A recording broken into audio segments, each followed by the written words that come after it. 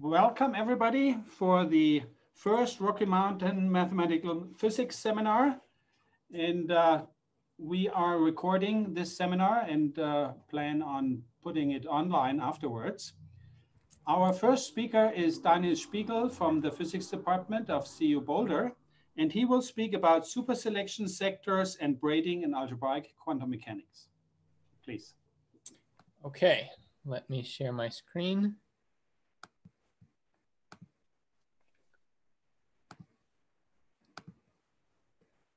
Okay, so um, thanks for having me as the first speaker here.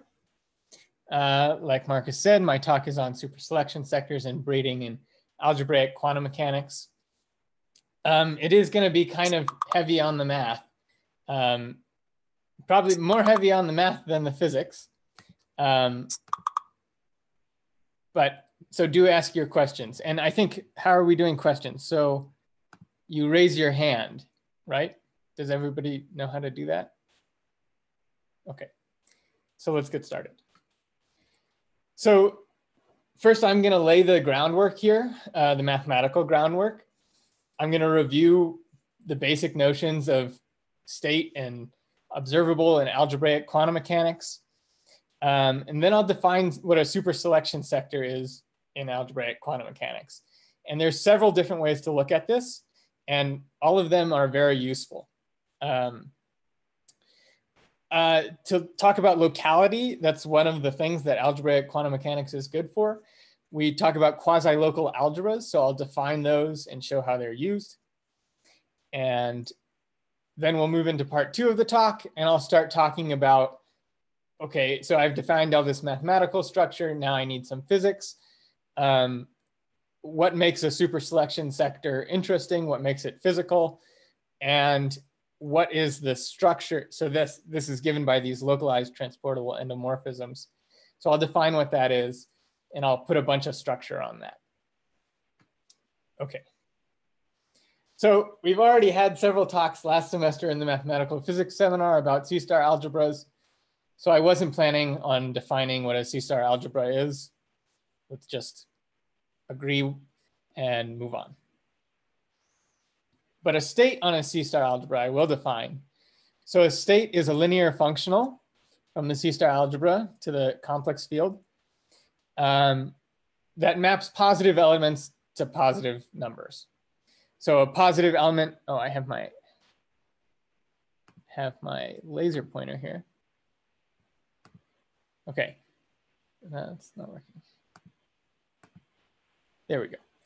So A star A, capital A is an element of the algebra.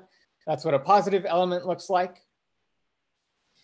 And I have to normalize it. So that's given by omega 1 equals 1. And so that's called a state. The set of all states we denote by S of A. And the physics, the interpretation here is that when you act a state on an observable, so when you act omega of A or omega of A star A, that's giving you the expectation value of the observable A or A star A in the state omega. Okay. So some fast facts about states. First of all, there are states. Uh, it would be very bad if there aren't, but there are. States are automatically continuous. So that positive assumption automatically implies continuity. And this omega of one equals one implies that the norm is one. So the state space is weak star closed, which means that pointwise limits of states are states.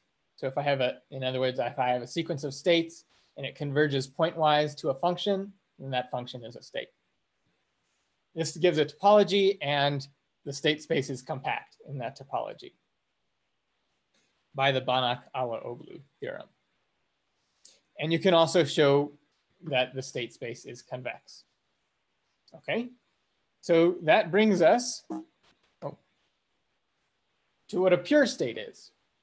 So the Krein-Milman theorem says that if you have a compact convex subset, then it's the closed convex hull of its extreme points. So we define a pure state to be an extreme point of the state space. In other words, uh, a state is pure if it cannot be written as a non-trivial linear combination of states. We call this PS of A. Okay, so how does this connect to the regular Hilbert space quantum mechanics um, that all the physicists know? And this is through representations of the algebra on a Hilbert space. So a representation, I mean a map, pi, from the algebra to the bounded operators on the Hilbert space, which respects all the algebraic operations. So it's a star homomorph, a star homomorphism, in other words. Um, and let's also assume that pi of the identity equals the identity. So that just rules out some trivial things. We say the representation is faithful if it's injective. We say a vector in the Hilbert space is cyclic if uh, acting on it with all the different observables gives us a dense subset of the Hilbert space. And we say that pi is irreducible if every non-zero vector is cyclic. Okay, so some fast facts about representations. If I have a faithful representation, then it's an isometry. So that sort of lets us identify the range of a of the representation with the algebra. And Schur's lemma here in the form of C-star algebras is pi is irreducible if and only if pi of a prime, which is the commutant. So the prime here denotes the set of all uh, operators in the Hilbert space that commute with everything in the algebra. So that Schur's lemma says I'm irreducible if and only if the commutant is uh, just C times the identity operator. Okay, so to get, we can get from a state to a vector in a Hilbert space, a state on a C-star algebra, and that's the Gelfand-Naimark-Segal con construction. So if you have a state, um, then there exists a representation and a cyclic unit vector, which represents that state in this sense. So this on the right-hand side, you see the expectation value of the observable A in the way that it's defined in quantum mechanics in every physics class. And on the left, you see it as I defined it earlier. Um, so the Gelfand-Naimark-Segal or GNS representation is unique, essentially up to unitary equivalence. So if I have another representation, another cyclic vector, um, such that it represents the state in this way, then there's a unique unitary that maps the two cyclic vectors to each other. And that gives me unitary equivalence of the two representations. So we call this unitary equivalence of the representations. When one, representation equals the other representation up to conjugation by a unitary.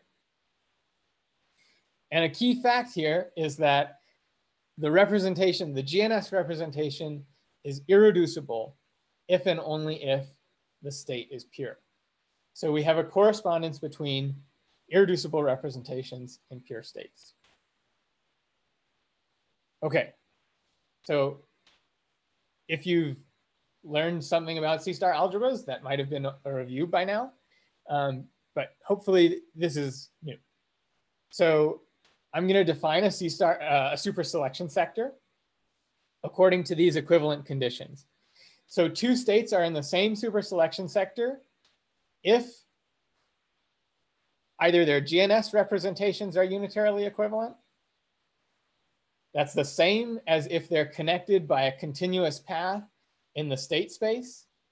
Here, the norm topology is inherited from the state space being uh, in the dual, a subset of the dual space of the C-star algebra.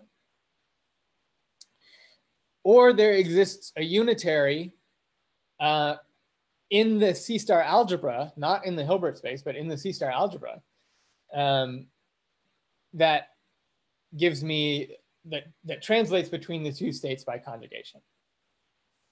Okay, so this defines an equivalence relation, and the equivalence classes are the super selection sectors. Um, right, and, and another fact here, if I have an irreducible representation, then every vector in the Hilbert space gives me a pure state, and that completely describes one superselection sector. Okay. So we have some ways of telling, uh, or we have at least one way I've written here, of telling when things are in the same superselection sector. So if the norm of the difference of the states is less than two, then they're in the same super selection sector. So that's pretty good. That's pretty powerful because the triangle inequality says that this is no more than two. So if the triangle inequality is not saturated, then they're in the same super selection sector. Um, and some examples here. The finite dimensional C-star algebras just have one. They act on a Hilbert space. So uh, MNC, the matrix algebra, acts on Cn in the way you expect. And that's the one irreducible representation. But in general, C-star algebras have lots and lots of super selection sectors, and not all of them are physically relevant. So in the second half, we're going to have to define criterion that say what a physically relevant super selection sector is. And ultimately, the physics that we're getting to here is that the super selection sectors label charge quantum numbers. So they tell you about the charged particle content of your theory. Um, okay. Let me pause there for a second and see if there are any questions.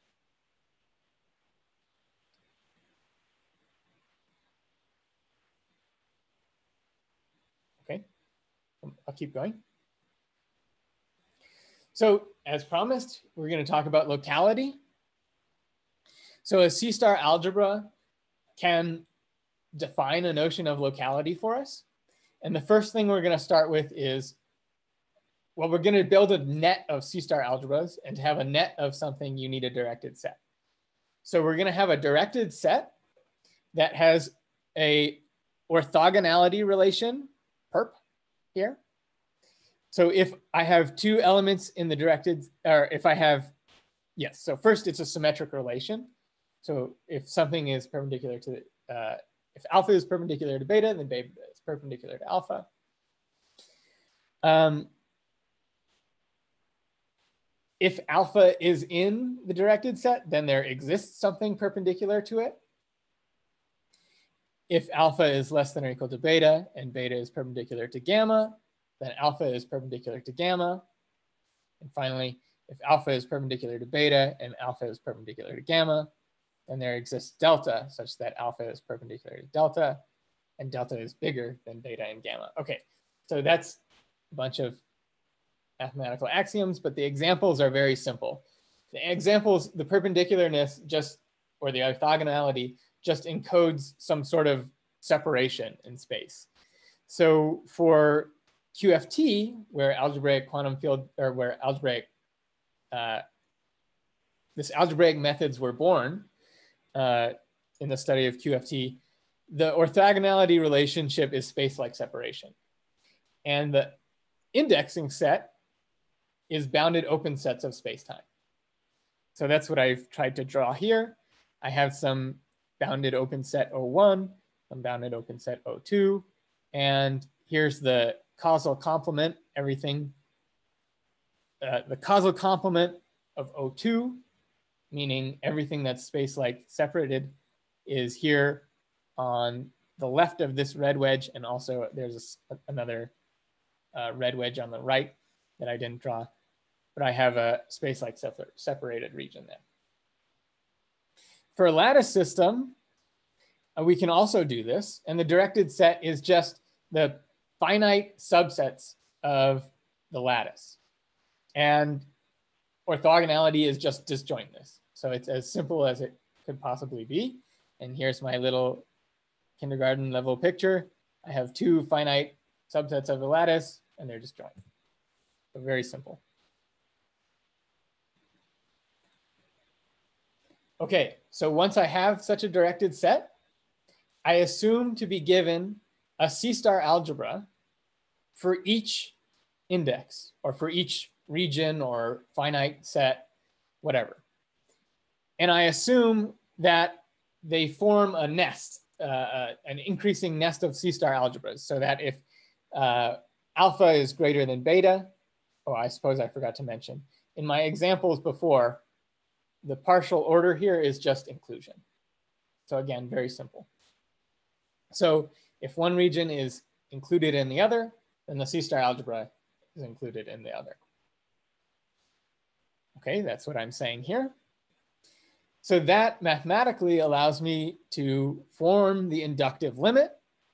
In other words, I take the union of all those algebras and I complete it with respect to the norm. And that gets me a new C-star algebra, which I'll call A. Um, and the, the union A naught is dense. Okay. And I also suppose in order to encode locality that if two things are separated or disjoint, then all the observables commute with each other. So this says nothing. This is not to say anything about particle statistics yet. Uh, this is just to say that real observables commute with each other if they're in space-like separated regions. So I, I suppose I should say the interpretation here of A of alpha is that these are the observables that are localized in the region alpha. Okay, so in this situation, I call A zero or A naught the local algebra and A the quasi-local algebra. Okay, so for lattice spin systems, how is this usually constructed? Um, well, for each lattice site, I have some spin, and that corresponds to uh, matrix algebra, MNC, at that lattice site. And then for a finite subset, I take the tensor product of all of those. So I take the tensor product of a bunch of matrix algebras. And the embedding is given by you give me a tensor and I just put identities in the bigger algebra wherever I didn't have a lattice site before. So in other words, if I have two regions, lambda one, subset of lambda two, the embedding is given by a tensor with A's going to a tensor with B's, where B, V, V here is a vertex, lattice vertex. BV equals AV if V was in lambda one, and it's the identity otherwise. So then you can use this quasi-local algebra construction to construct the infinite tensor product of C-star algebras. And that's a very useful thing because it's much harder to do that with Hilbert spaces.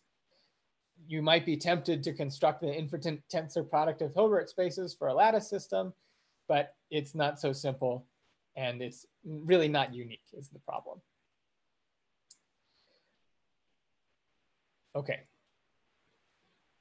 so let's talk about states on a quasi-local algebra. Before I gave you a criterion to tell if two states were in different superselection sectors, uh, if omega one minus, or sorry, if they're in the same superselection sector, then omega one minus omega two is less than two. And here, this was a criterion to tell if I'm in different superselection sectors. So I'm in the same superselection sector, if uh, you give me an epsilon and I can give you a finite region where these uh, these states are epsilon close outside that region. So let me just say that again. Omega 1 and omega 2 are pure states in the same super selection sector, if they are. Then for every epsilon, there exists an alpha in I, so a region such that uh, absolute, the magnitude of omega 1 of A minus omega 2 of A is less than epsilon times the norm of A for any beta orthogonal to alpha in A in the orthogonal algebra. So the proof is very simple.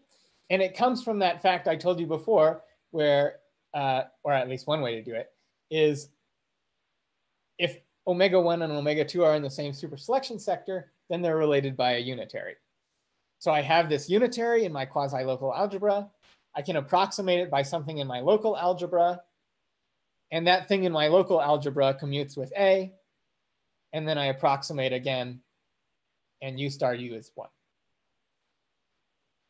So the idea here is that I approximate things in my quasi-local algebra with things in my local algebra. And I use this orthogonality relation to get the commutativity when it's important. So the converse to that statement doesn't always hold, but it does hold in lattice spin systems. And that's actually kind of important. Um, okay.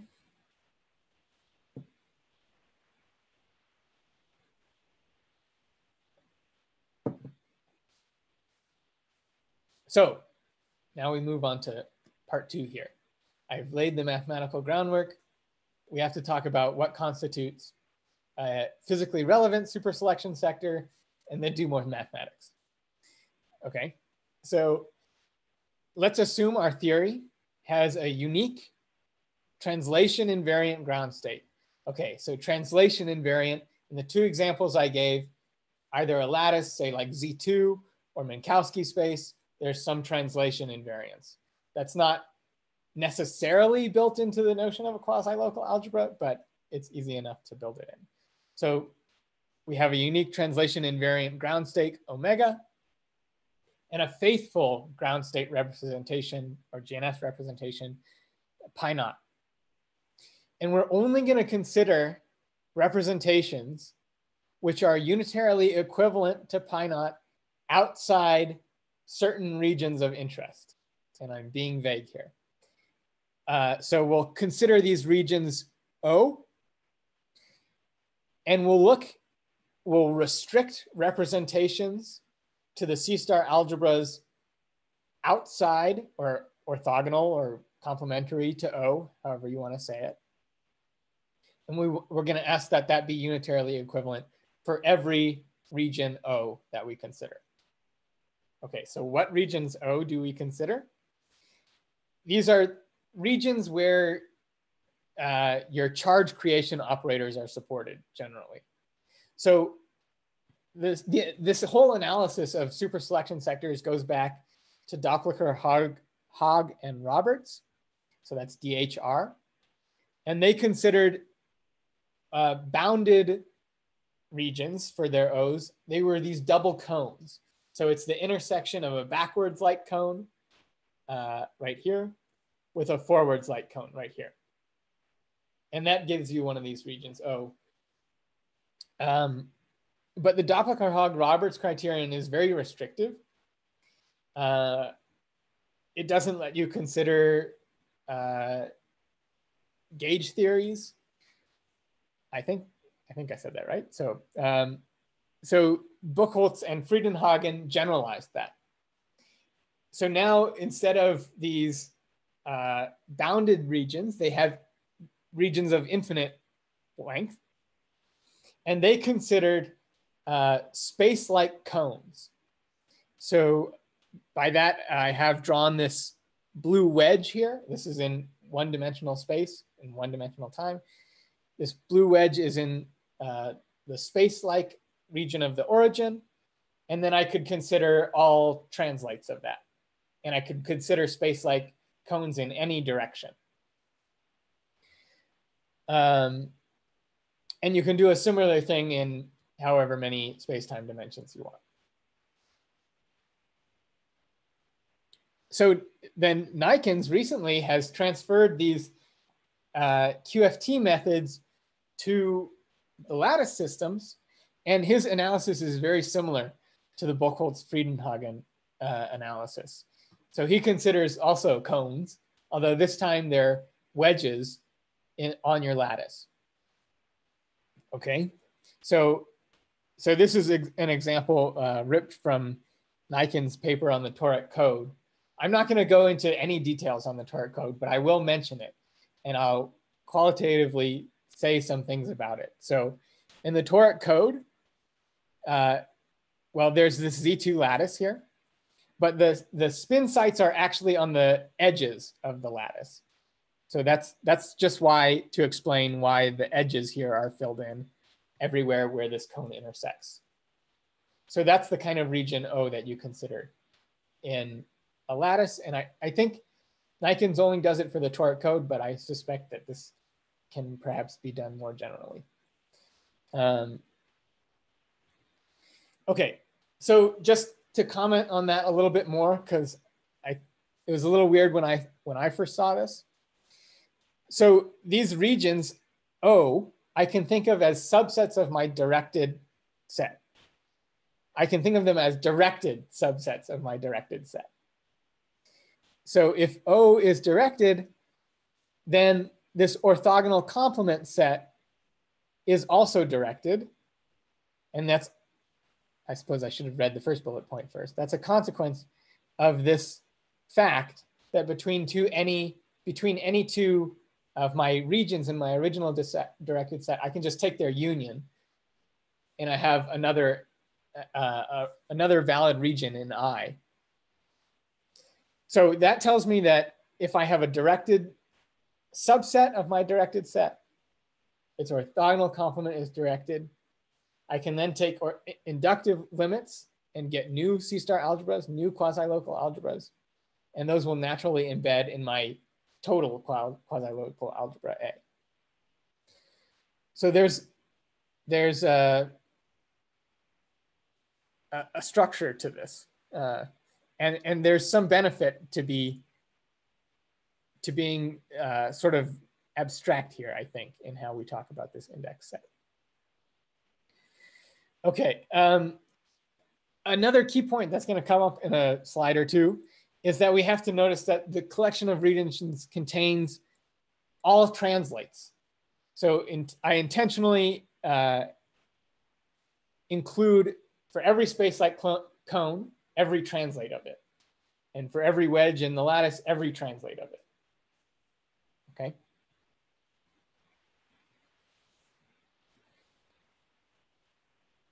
Okay. So the thing is the representations, restricting a representation to a subalgebra is not the nicest formalism for talking about uh, talking about what your relevant super selection sectors are. So we'd rather talk about uh, an endomorphism, these localized transportable endomorphisms. So an endomorphism rho from A, the quasi-local algebra, to itself. We say it's localized in this region O. If rho of A equals A, if it does nothing in the orthogonal complement of that region. Okay, so that, that is a very sensible definition. And we say it's transportable if given any other region or wedge or whatever. There's another endomorphism localized in that wedge. And there's a unitary that transports me or conjugates me from my original endomorphism to my new endomorphism. So in other words, if I start localized in one region, I can move myself to be localized in another region or via this charge transporter. Okay. So the problem here, or the warning I want to give is that V is not necessarily in the image or in, in the quasi-local algebra. We can really identify pi naught of A with the quasi-local algebra because pi naught is faithful and therefore an isometry. Okay, so that's gonna cause problems. Uh, fast fact about these localized transportable endomorphisms, they're automatically isometries, which is kind of nice. So that means they're automatically injective. They're not automatically surjective. Um, Right. And we're interested in the pure states and the irreducible representations obtained by composing with these localized transportable endomorphisms. So we're interested in states of the form ground state composed with endomorphism and respectively representations of the form ground state representation composed with uh, endomorphism. So the interpretation here, the physical interpretation, is that this creates a charge. And um, right, so if I start with the ground state and I compose with rho, then I've created an excited state. And now you see, I, I, was sort of circular in how I defined these O's. So the O's are where my charge transport, or my, my charge creation operators are supported. Um, but you have to sort of know. I mean, I use these O's to define my rhos, but uh, the motivation for the O's comes from the rhos. So it's a little tricky. Okay. I think that's all I wanted to say on that. Right. Uh, I will. I will say one one other thing. So since these are not necessarily automorphisms, they're not necessarily surjective. Omega naught composed with rho is not necessarily pure. If it is an automorphism, then it is necessarily pure. And in the toric code, they are automorphisms. But in general, uh, you can have endomorphisms that when you compose, you do get a pure state, and you can have other endomorphisms that when you compose like this, you don't get a pure state. So you just want to be concerned with the ones that give you a pure state in this analysis. Okay. Um, right. So if we're going to talk in terms of these localized endomorphisms, then it better satisfy the original criterion that we imposed, which means our, our, ground state representations and our excited state representations better be unitarily equivalent outside or on the orthogonal complement of these regions. The proof is very simple. Fix O. There exists an endomorphism localized in O and a unitary V that transports me, or that transports rho to sigma. But if A is uh, outside the support of sigma, then sigma will just be the identity. So I move my region of support far enough away outside the region that I'm concerned with.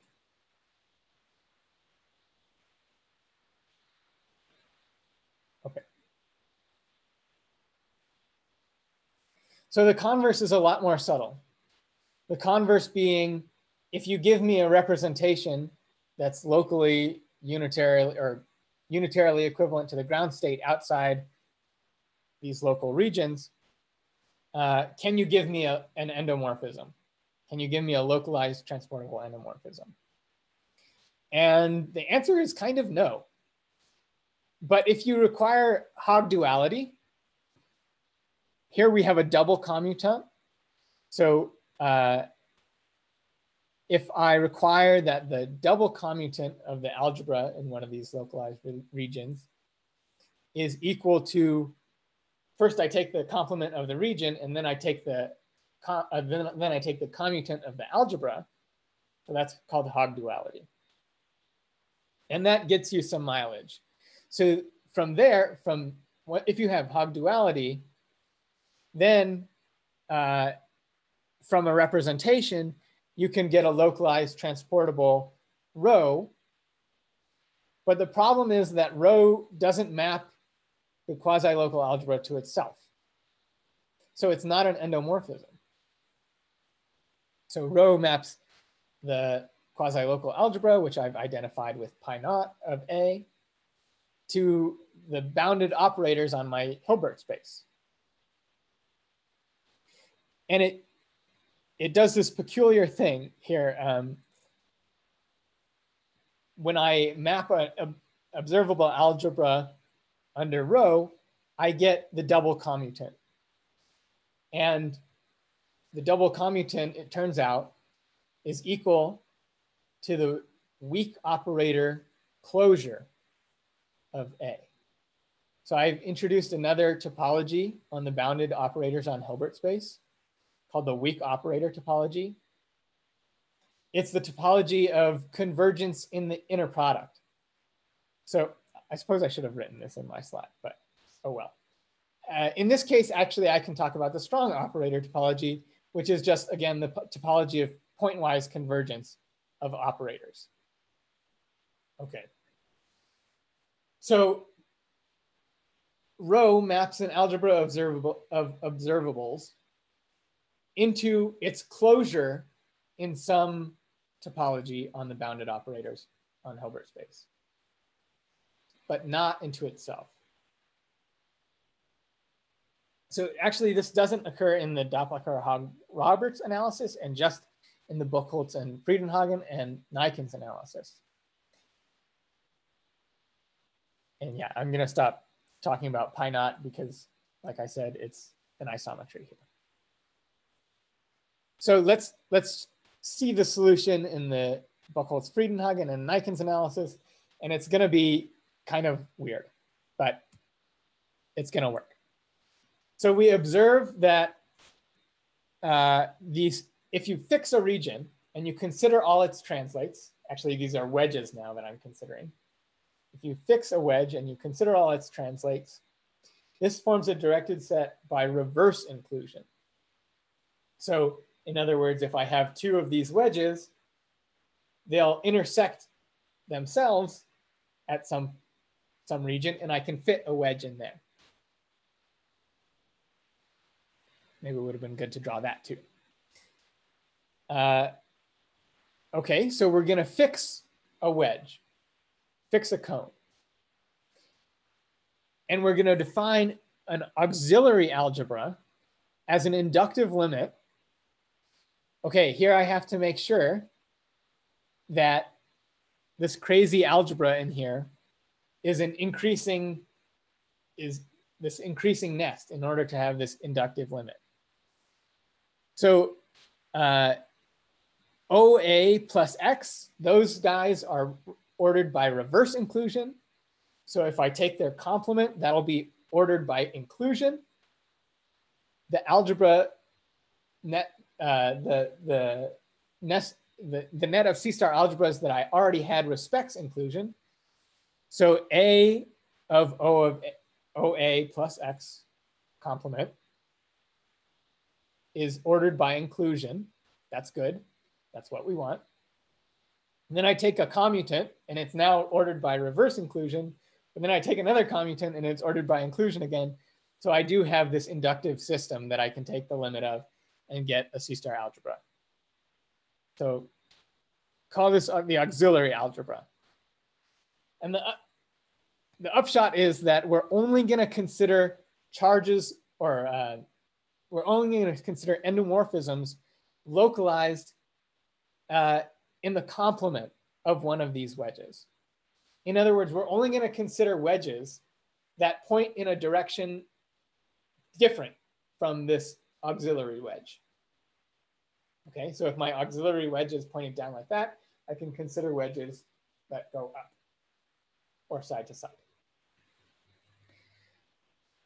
And these O's that I considered as my new regions of localization, those form a directed set. So that's good.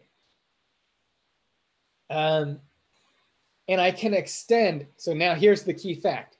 I can extend my endomorphism, which was original, or I can extend my homomorphism, which was originally not an endomorphism, to an endomorphism of the auxiliary algebra. So now I can do this whole business of localized transportable endomorphisms, but on the auxiliary algebra.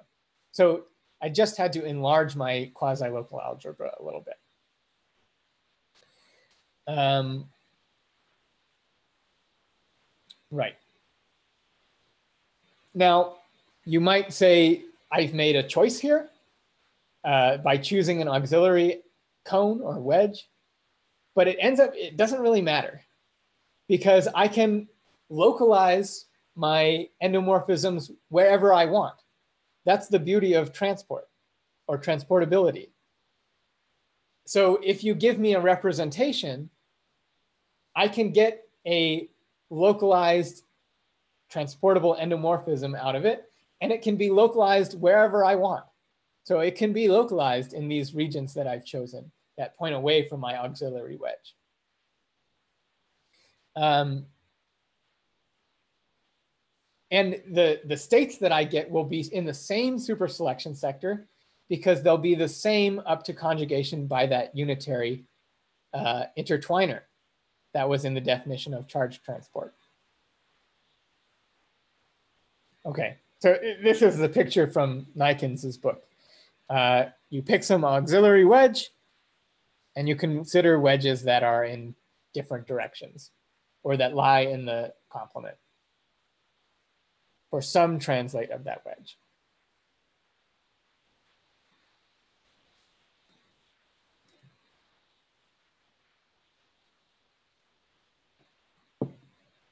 Okay. So now that we have settled this issue, and if you don't want to think about auxiliary algebras, you don't really have to. I mean, we're just doing this localized transportable endomorphism business. We have an endomorphism on some algebra. So now that we have that, we're going to define this to be a category. We're going to give this a category structure, and we're also going to give it a monoidal structure, or a tensor product. Okay, so the objects of this category delta are going to be the endomorphisms. And the morphisms between the objects are going to be the intertwiners, the, the charge transporters. So if I have two objects, the set of morphisms between them, I'm going to denote as delta of rho sigma. That's the set of all bounded linear operators that intertwine rho and sigma for all A in the auxiliary algebra. Okay, and if this is going to be a category, I better be able to compose morphisms, and I can't just by first commuting uh, my charge transporter past. Okay, so uh, let me let me say that again. Uh, if I have two charge transporters, I can compose them to get a new charge transporter. Um, and the composition is literally just function composition. So the composition in the category is literally just function composition. And this works by first commuting one past my endomorphism and then commuting the other past my endomorphism. So it couldn't be simpler. And I'll note that the irreducible representations or the irreducible um, endomorphisms, which are the ones that we're interested in, uh, correspond to those which have uh, the morphisms into themselves equaling only CI. So this is kind of like Schur's lemma again. Okay. So we have a category. Let's give it a monoidal structure. To give it a monoidal structure, I need a tensor product. And the way I'm going to define the tensor product of two endomorphisms is just by function composition again. So if that's going to be my tensor product, it better be true that the composition of two localized transportable endomorphisms is a localized transportable endomorphism. And it is. And this is because of all the nice structure that we have on our directed sets here. Um, so, right, if rho and sigma are endomorphisms localized in one region and another, then you just take a region that contains both of those and the composition will be localized in that. I've written the proof, but I think I'm gonna skip past that. But it's again very simple. Um, I just have the power to commute things when I want to.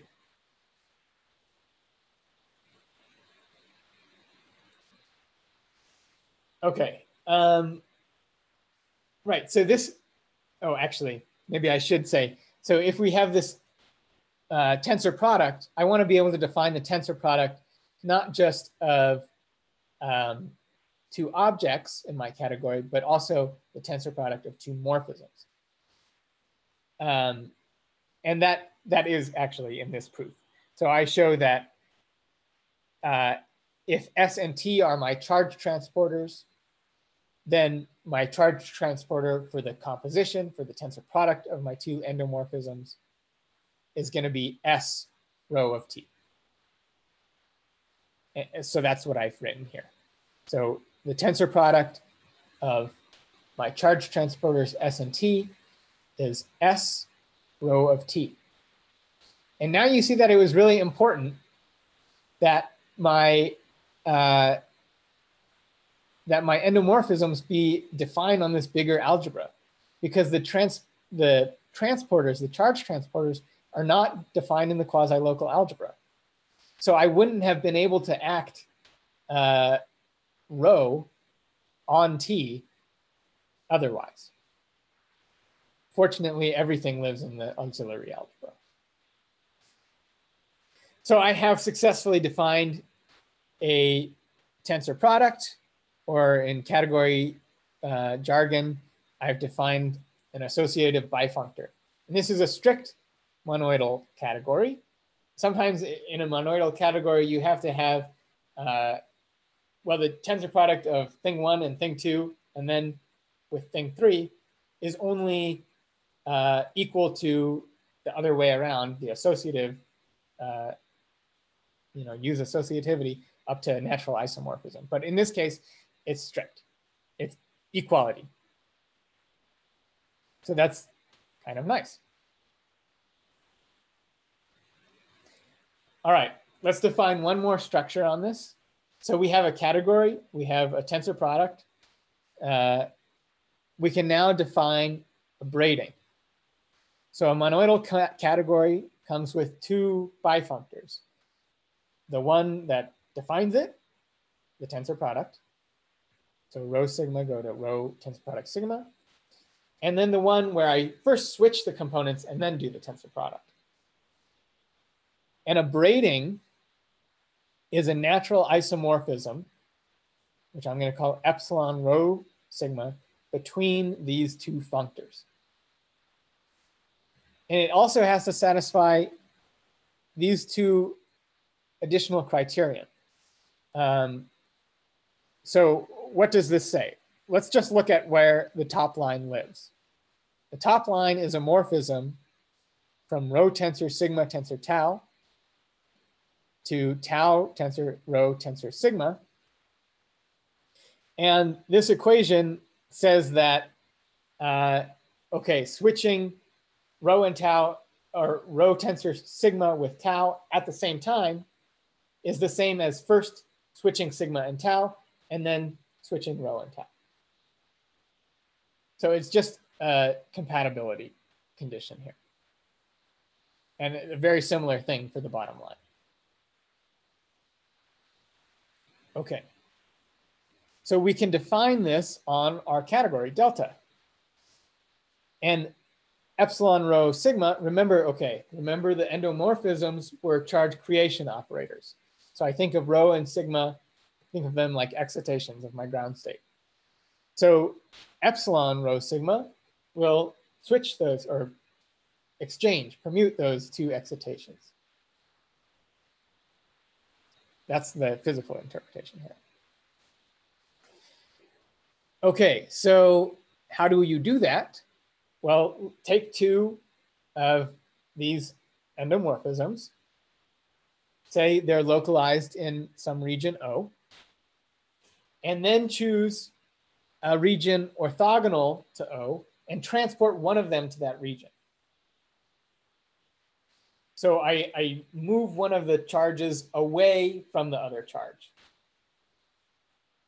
And then I look at uh, the charge transporter V, and I define epsilon by this formula. Um, I don't have a lot of intuition for this formula. but I can see that it is at least a morphism in the uh, between the two objects that I want. So it's a morphism between rho tensor sigma, in other words, create rho, then create sigma, and sigma tensor rho. In other words, create sigma and create rho. So to do this epsilon, to define it, I had to make a lot of choices. I had to define, I had to, I had to choose this orthogonal region, O hat. I had to choose a new morphism, sigma hat, that would be localized in my orthogonal region. And I had to choose a charge transporter. So I'm independent of those choices, except in two dimensions. And here's where the interesting thing comes in. In two dimensions, my braiding operator depends only on whether I'm to the right or whether my, uh, my orthogonal region O hat is to the left or to the right of my original region O. And left and right here is measured relative to my auxiliary cone. So in other words, in this picture, lambda hat being to the left of lambda means that I rotate clockwise, uh, or sorry, I rotate counterclockwise from lambda to lambda hat to get from one to the other without crossing over the auxiliary cone. So you have to choose in two dimensions. You have to choose whether you're going to be on the left or the right, and you have to make a choice, but you have to be consistent. So there's no anyons, which are, uh, well, let me, let me just read this. So there's no anyons in three or more spatial dimensions, dimensions, uh, because there's no choice. And it turns out that if I exchange rho and sigma and then do it again, I just get the identity operator. Nothing happens. So that's Bose and Fermi statistics.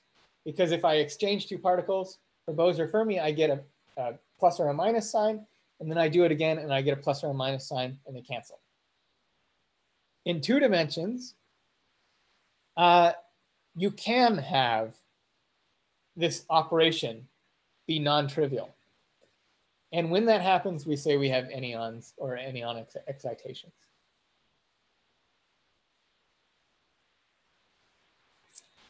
So this in particular, let me just briefly mention the toric code. I'm almost out of time, but just very briefly. So the toric code does have anyonic excitations. It has four super selection sectors, which we can think of as labeling two different kinds of charges. So I have uh, a rho charge and a sigma charge. And so I have one super selection sector for the ground state, one super selection sector for the rho charge, one super selection sector for the sigma charge, and one super selection sector for when I have rho and sigma. Or, so that's rho tensor sigma or rho composed with sigma. Um, there's only four because these charges are their own antiparticles. So if I have two rhos, then that's the same as having none in terms of total charge. Uh, the great thing about the toric code is that these endomorphisms, these charge transporters, and these braidings can be computed explicitly. And this is one of the big critiques that uh, algebraic quantum field theory had, that there was nothing you could do. There, were, there weren't enough examples. Uh, but for here, we have an example. We have actually plenty of examples uh, in, in this lattice framework. And in the toric code, you can compute this braiding operator and it gets you a minus identity.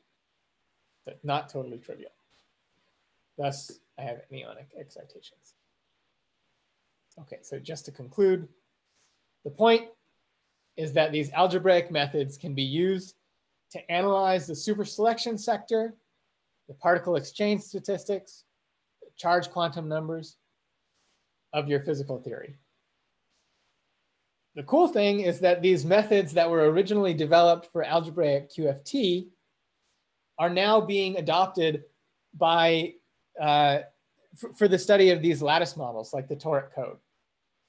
And it's much easier to write down a concrete lattice model. There's a whole program for doing this, um, which is an, another talk. Uh, but it's much easier to do that for a lattice model than for QFT. Uh, so hopefully this will renew interest in this field and in algebraic quantum mechanics in general and will lead to benefit for all. So that's it. Thanks. Some references. Thank you very much. Um, thanks the speaker for the nice talk. And uh, are there questions?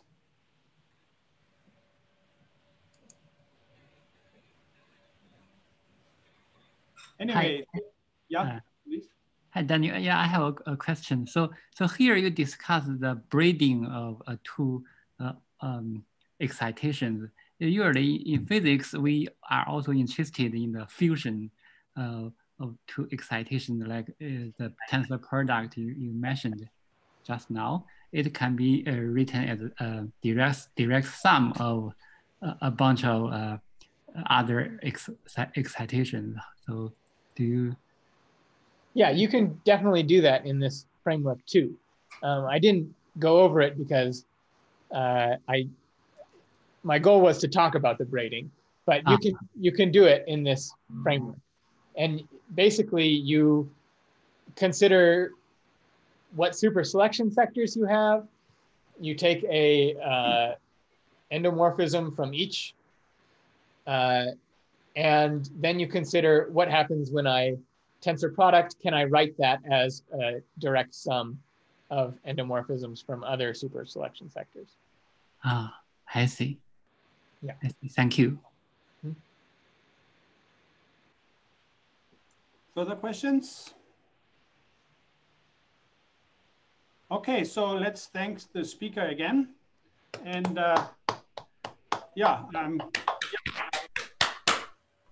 um, and thank you for all uh, coming to the first Rocky Mountain Mathematical Physics Seminar. And uh, the invitation for the next one will be sent out soon. Thank you.